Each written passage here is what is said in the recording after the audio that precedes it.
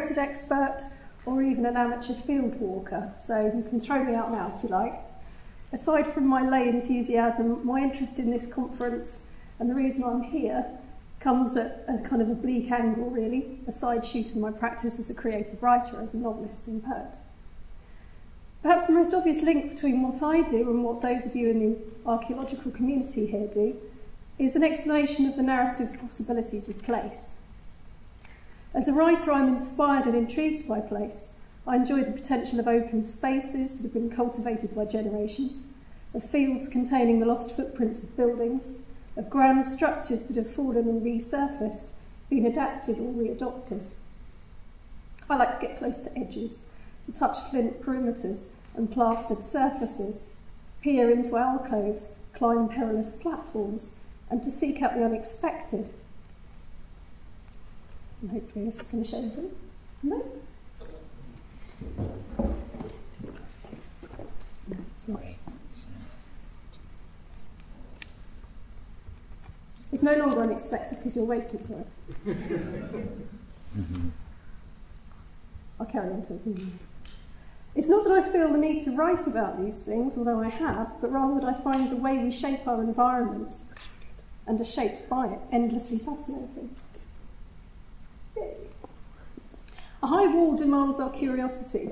What is being kept out or kept in? An abandoned dwelling is ripe with imaginative possibility. Who lived there? Where did they go? Why? Why has no one moved in? The writer asks these questions and, based on their reading of the world, presents answers in the form of story. When the archaeologist asks the same questions and interprets through their reading of the world, they present answers in the form of history. Both ways of seeing and interpreting place require curiosity, creativity, and perhaps most importantly, a willingness to look closely at that which is often overlooked. My writing and practice-based research has steadily developed into a form of psychogeography, walking in search of materials and details, but also to question, to notice, to power up the writing batteries. I use psychogeographical approaches in my teaching too, encouraging students to engage attentively with place in order to sharpen up their descriptive skills and develop their power of noticing.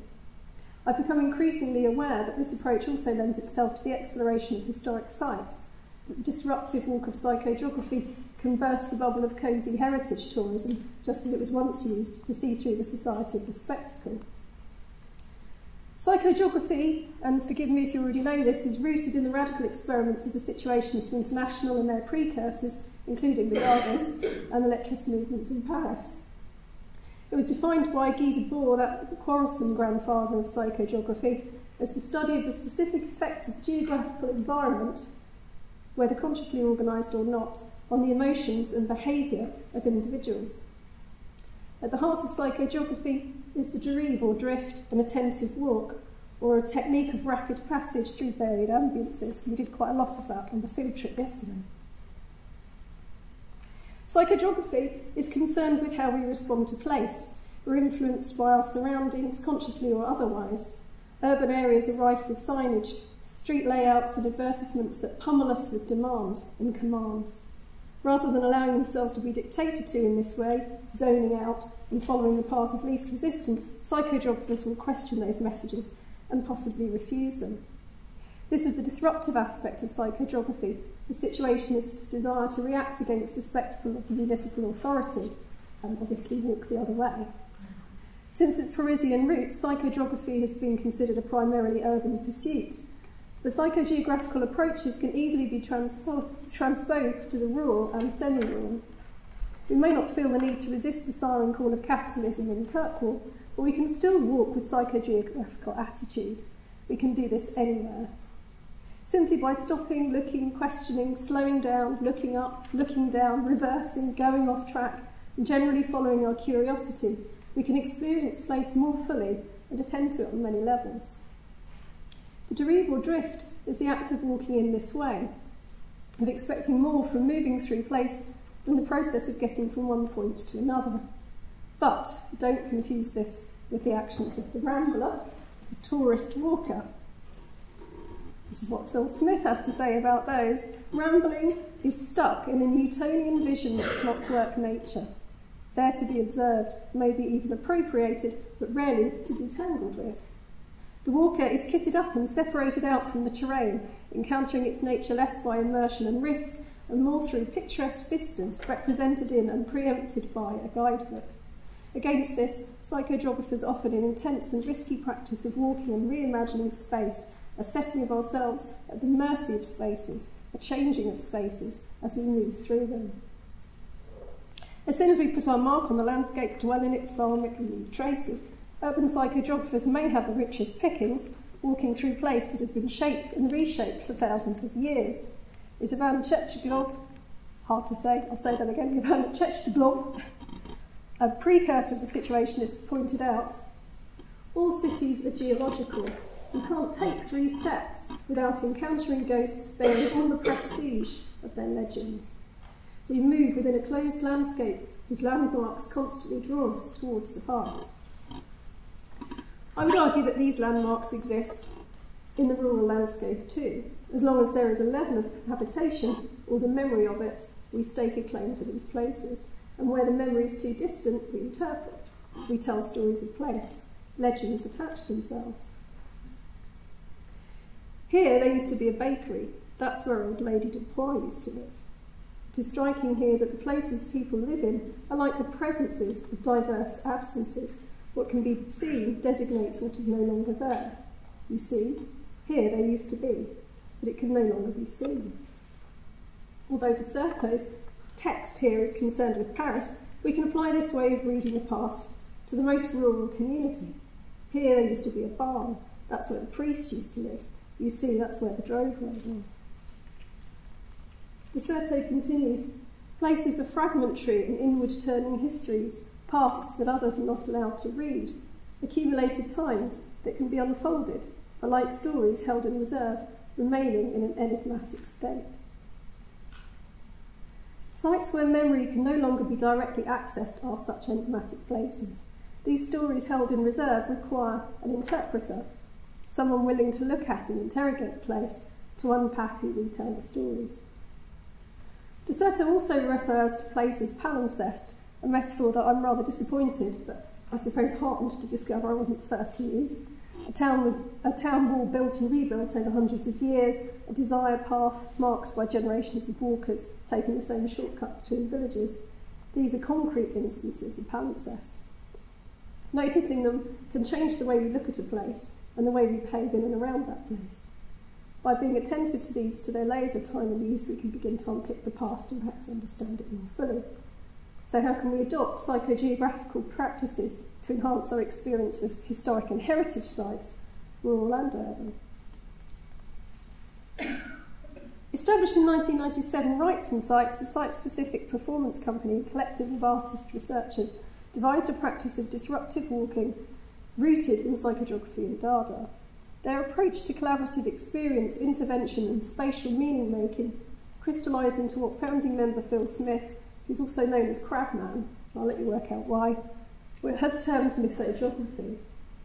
We've been exploring the potential of an approach to place through the lens of mythogeography that places the fictional, fanciful, mistaken, and personal on equal terms with factual municipal history. Rights and sites developed this eclectic democratic approach to interpreting place with the creation of site-specific MIS guides, guided performance walks and publications. A MIS guide to anywhere published in 2006 took the form of a series of provocations and instructions for walks designed to inject psychogeography into everyday experiences of place. As well as instructions for virtual walks, cities under curfew, or exploring boundaries, And this guide to anywhere includes instructions for visiting museums and games. One set of instructions, The Exhibitionist, aims to liven up visits to predominantly static, silent, passive places where people graze and gaze in a general way. Instructions include ignoring the displays and focusing on the furniture or other visitors, or establishing a pattern of switching from an open to a focused gaze while, while considering displays. Another instruction recommends visiting grand nationalistic monuments as if they were garden monuments, or to encounter memorials not in silence, but by reading aloud all the inscriptions that are normally unspoken. With these instructions, a misguide to anywhere dips the toe in counter-tourism, an area that Phil Smith has expanded upon in his recent practice. More on that in a moment. Counter-tourism has its origins in another French movement, Latourex, the Laboratory of Experimental Tourism, which was established by Joel Henry in 1990. Latourex draws upon the practices of the situationists Dada and Oulipo, employing games using constraints, randomness and chance, and integrating psychogeographical approaches to discover new ways of seeing other places. But rather than being a mockery of tourism or the tourist, Latourex's counter-tourism embraces travel much as mythogeography embraces place. All experiences are equally valid. In the Lonely Planet Guide to Experimental Travel, which is sadly out of print, Henry and his collaborator Rachael Antony define counter-tourism as a game. Counter-tourism is not intended as a critique of classical tourism. Rather, it's simply an invitation to travel differently. Counter-tourism is a great game to play at key tourist sites, where you may, may feel most pressured to play the role of tourist and conform to prescribed activities and expectations. Counter-tourism can also turn a negative into a positive. Suddenly, all those tourists blocking your view of Big Ben become not an invitation, but a plus. The guide's and instructions for a counter-touristic activity include photographing tourists, taking photographs of the site visited, rather than the site itself, or deliberately doing the opposite of any advice given in the site's guidebook. The parallels with psychogeographical practices at large and Wrights and Sites misguide in particular are apparent. Phil Smith's adoption of counter-tourism is effectively a heritage site-specific development of the misguide. Counter-tourism, the handbook, and its pocketbook companion directly address the application of psychogeography to heritage, Smith's books react against the packaging of heritage sites and the sanitising effect of the heritage industry. This is heri- heritage as spectacle, or heritage with a J, as Smith calls it. Counter Tourism, the handbook, announces itself as a book for those who want more from heritage sites than a tea shop and an old thing in a glass case. Smith offers the reader tactics and guiding principles to use on a personal journey through the heritage tourism machine. He recommends prowling around the heritage industry much as a counter-terrorist agent would in the enemy camp, enjoying its mistakes and omissions and gently misdirecting things in the interests of revelation. Again, there is a situationist desire to disobey perceived authority and prescribed modes of behaviour. But Smith maintains the benevolent, if slightly mischievous, Latourex approach. The mockery is gentle, and genuine appreciation for the sites and the paths they give access to are at the root of the movement. Counter-tourism is all about tripping yourself up with pleasure and falling down the rabbit hole to discover places and experiences that the heritage industry conceals or ignores. Buried ballrooms, accidental ironies, hidden histories, the spirit of place id of the site, mass graves and inconvenient details, the power of things, and the fossil of the future. While disruptive in a psychogeographical sense, Smith's instructions are not intended to interfere with the experience of others or to pose a nuisance to the site or its custodians. Rather, this brand of counter-tourism aims to look beyond the shrink-wrap of the past, often presented at sites of historic interest, and to attend to its many layers instead. Heritage renders the extraordinary ordinary, Smith warns, so to get special back, try to focus entirely on the site. Smith's instructions disrupt the viewer's behaviour, posing questions, provoking responses, and enabling a diverse and thus richer experience of place. There are only two ways you can do these, tactic bad, these tactics badly, Smith says hurt yourself or reduce other people's pleasure. Counter-tourism, the pocketbook, offers a redacted version of the handbook with 50 odd things to do in a heritage site, all of which are playful yet respectful and many of which will genuinely enrich the experience of visiting a site, particularly with children. Here are some examples. Visit heritage sites as if you were members of a bomb disposal team. Move very, very carefully. Be extremely tentative about accepting any of the information on offer. Assess the site's potential for eruption. Assume there are booby traps. In a heritage site, ignore all signs and labels and follow the flows of air or a sequence of colours, or navigate just by what feels most attractive most intense or most foreboding. Let the atmosphere of the property and the shapes of its landscape, not its information boards, draw you around it. Use the official site map upside down.